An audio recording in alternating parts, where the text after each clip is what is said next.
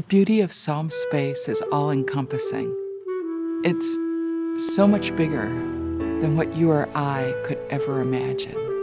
We have so much inside of us that we don't even know exists. To know that other people feel this, that you're not alone, that there is help in the world for you.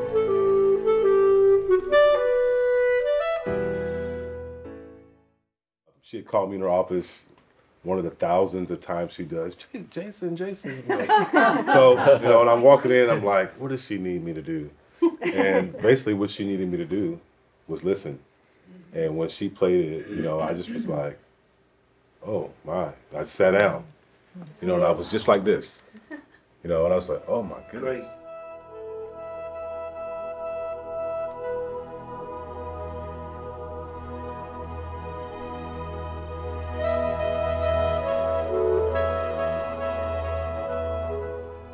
Thought the, the musical presentation was beautiful. I thought the video was really good too.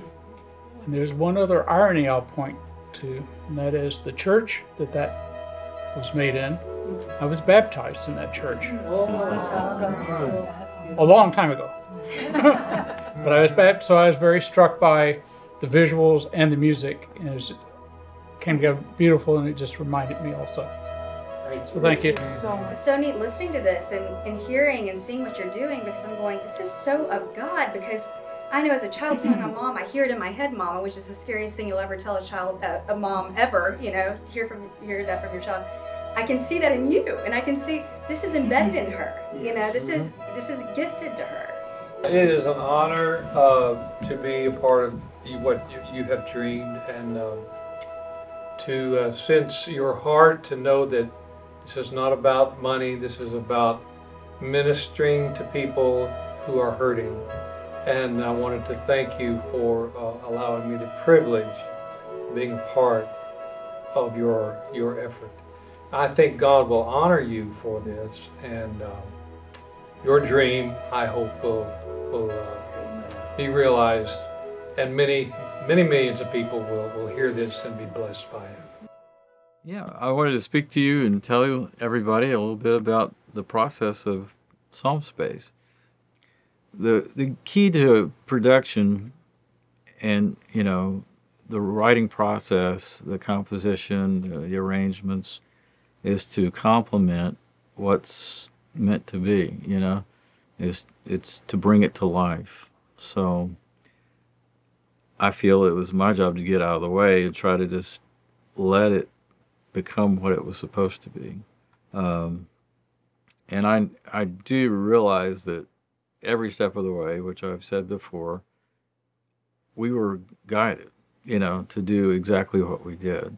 So I feel like it was divinely inspired. I, I just tried to stay out of the way, you know, and do as much as possible, you know, to bring that vision alive.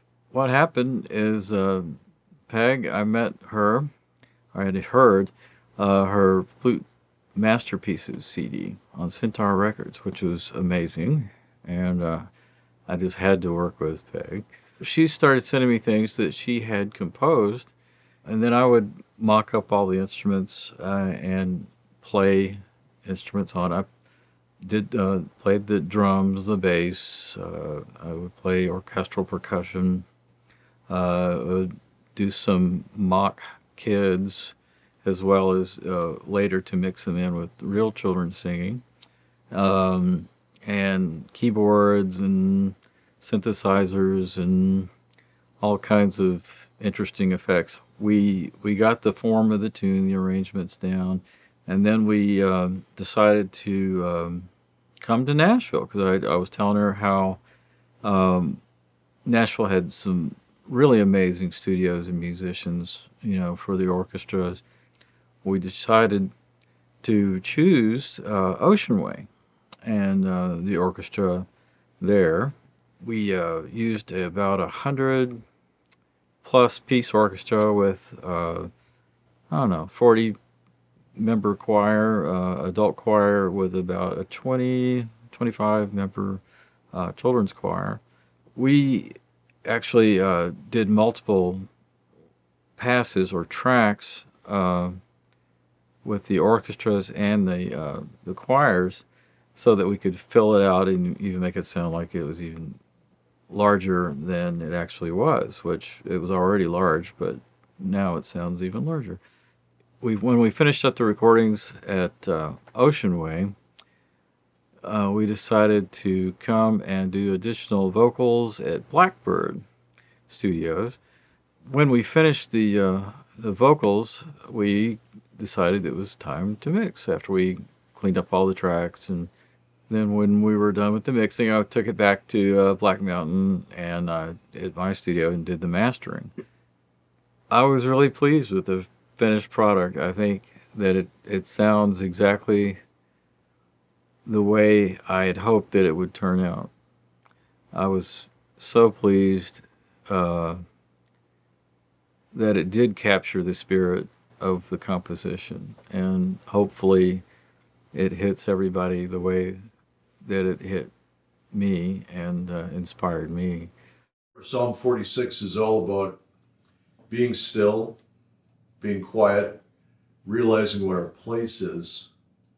And then things start to move a little faster. She's got a section in which um, the daily events of life seem to, to propel things a bit faster.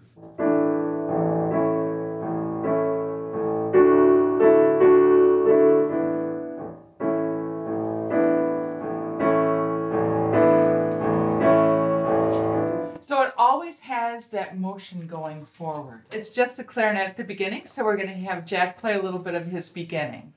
Now, there are two clarinet parts here at the beginning. And so we uh, track one and then I track the second one. But I'll play a little bit of the, uh, first clarinet part, I guess. This is the, uh, the chant that introduces Be Still and Know I Am.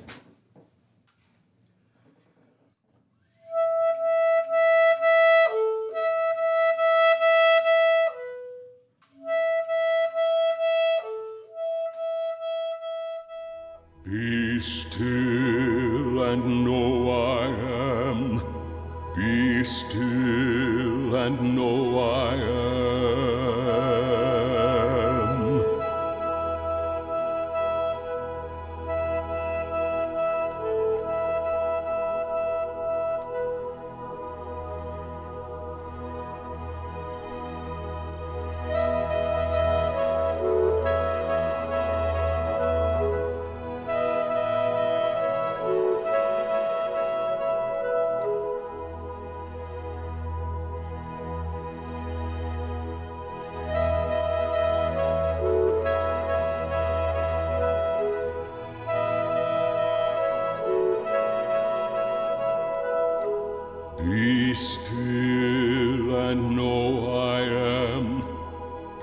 Be still and know I am.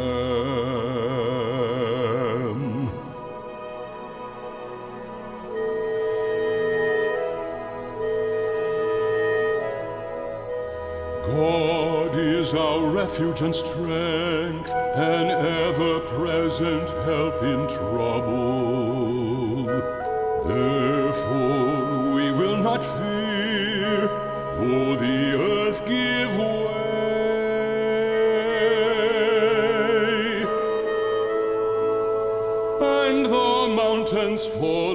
into the sea, and the waters roar and foam and the mountains quake with their surging.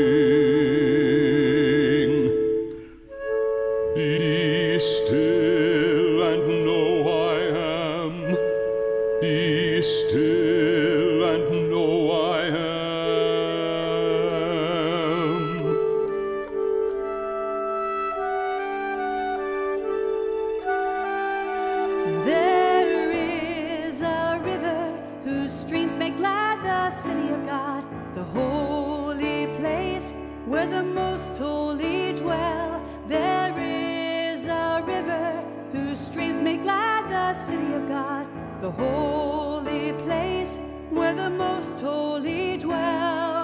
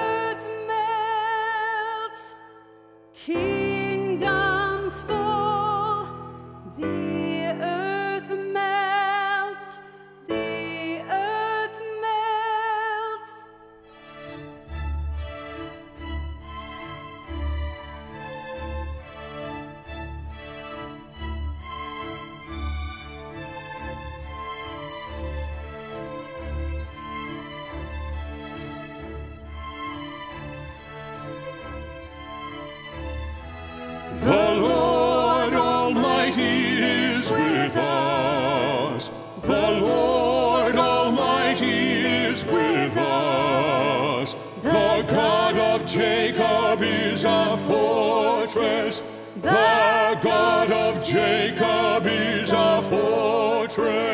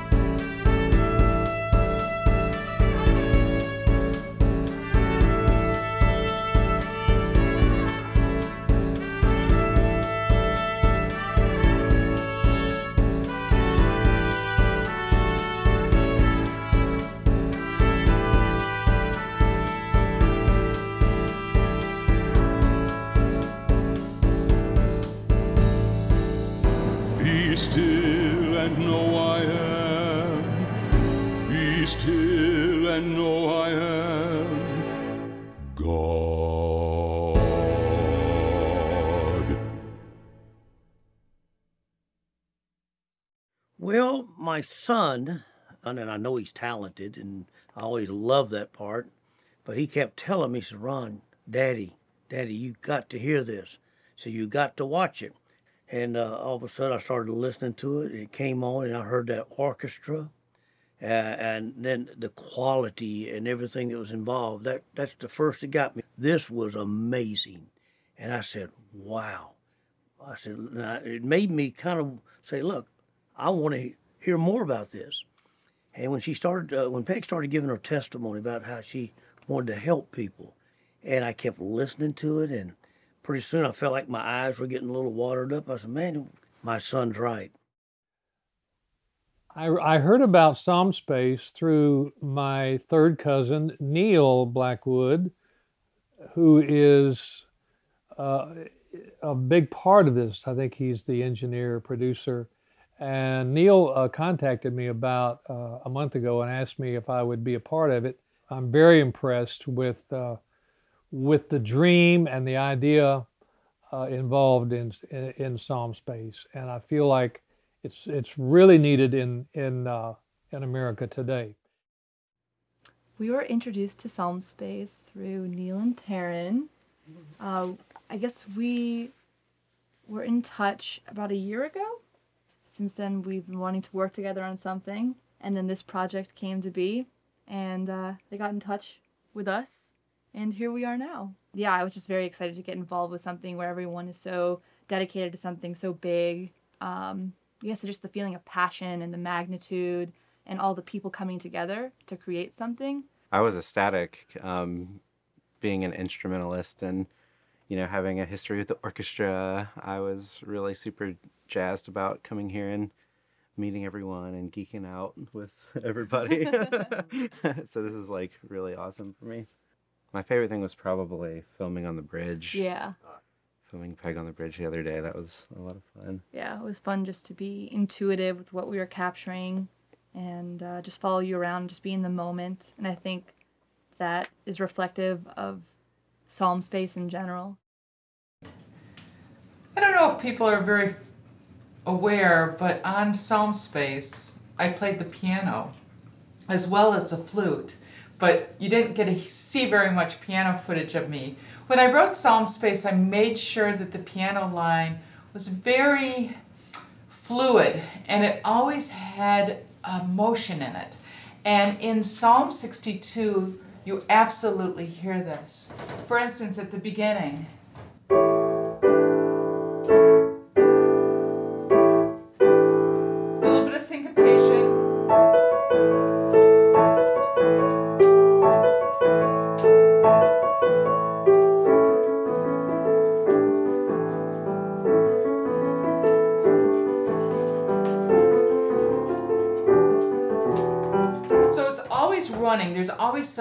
interest in it. So it makes it kind of fun. And then I added Jack. I'm going to start at measure 33, honey, and come in.